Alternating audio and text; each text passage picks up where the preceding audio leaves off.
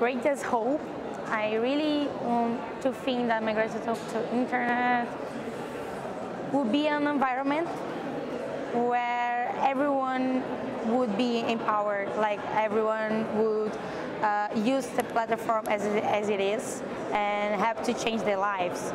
And my biggest fear, I think, would be the fraction of internet.